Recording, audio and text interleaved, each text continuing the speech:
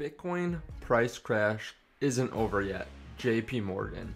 I want to talk to you about why I think this is manipulation by JP Morgan and why we will see more of that. Let's not forget that JP Morgan has been very bullish on Bitcoin very recently.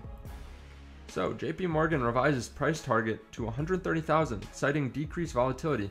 They want a little piece of this. They've been around for, you know, some of these banks hundreds of years and they are not growing like some of these other cryptocurrency companies. They want to get in on it, but they don't want to get in on it at 60,000. They don't want to get in at 50,000. They want to buy in for 50% off. They'll be coming out, you know, probably here in a couple months with ETFs or with different products for some of their clients. And they want to say that they got a good buy in price. They want to say that they really got in at the bottom floor. Now, once these banks turn around, it's really easy to send up the price. I mean, I've shown that with Goldman Sachs, where they came up and said that they had a massive price target. If all these different banks go in at the same time and say, hey, we're buying up Bitcoin, we're buying up Ethereum, we think the price is going to go up to 200,000. Could send up the price. It would make a lot of clients very happy when they 5x their money or 4x their money right now we have Bitcoin and Ethereum dropping today. Bitcoin was around 45,500 and now we see another drop. And that is after the news that China bans financial payment institutions from cryptocurrency business. Overall, I think there are some interesting things we can take out of this. First of all, it's a great dip buying opportunity if you want to hold on to crypto. This has not really changed the crypto landscape at all. We still have mass adoption coming here in the United States and the other countries outside of China. We just had Bitcoin go under 30,000 for the first time in a long time. So we had to go under 30,000. Ethereum under 1800. Cardano is right at a dollar and five cents, which is right where it's hit support several times. A lot of people really wanted those January prices again, and they're getting them, but it feels a little bit different this time. We are at extreme fear. And looking at the historical fear and greed index, we've hit extreme fear 10, uh, 10 on the scale a couple times over the last year.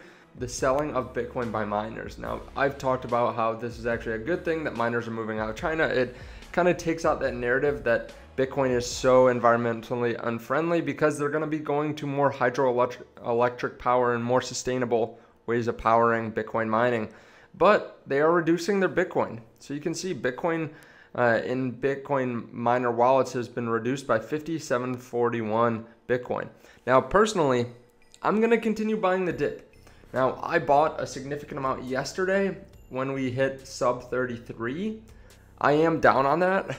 You know, uh, I, I'm looking long term, but I am down on that. I will continue to add as it falls down. If uh, a couple days from now we're still at the same level, I'll be buying. So is this the end? Is this the end of the bull market? Have we just seen a lot of money flowing out? The fundamentals have changed. We're done.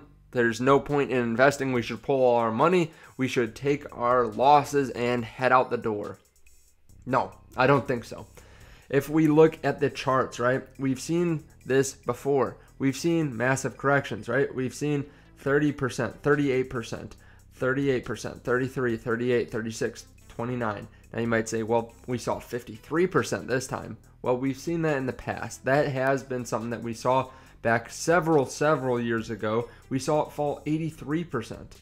And then we saw it go back up. And then we saw it go back up. And we saw it go back up. Sure, you can take your money off the exchanges, but there is more adoption than ever. And all you're doing, really, in my opinion, is giving over your money to larger institutions that are willing to wait a little bit longer here. This is the insider. I'm sure a lot of people heard about it the first time, right? After the market crashed, after the Bitcoin market, crypto market crashed, we had this post come up from Anonymous saying, hey, this is going to happen. He called out everything that was going to happen. They were going to push it.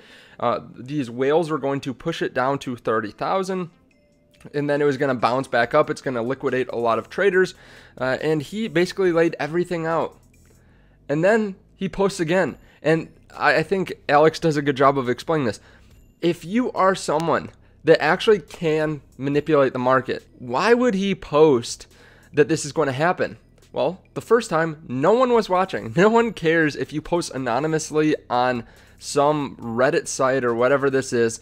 Uh, and says exactly what's going to happen. No one's going to believe you, right? The second time though, after a ton of people are watching, then then people are going to actually believe you and they're going to try to act on it. So what's he say here? A lot of what happened uh, he cannot discuss, but here's what I can tell you. Right now, we're going to short Bitcoin. 25k is the current target. We're trying to knock a certain player out and not Tom Brady. This time, I cannot give you the exact time frame for the sell-off, but things will start getting interesting around 7 a.m. UTC. Bitcoin is going to fall down to 25k. They say they post something that is very negative. Maybe they even start shorting just a little bit to get it going. Is this guy just an awesome, nice guy that's trying to help everyone make money and help the people that he knows lose money? Probably not. So this time, you know, how do they make money, right? They gain trust when no one's watching. So after the fact, everyone trusts them, but they don't lose anything out in the short term.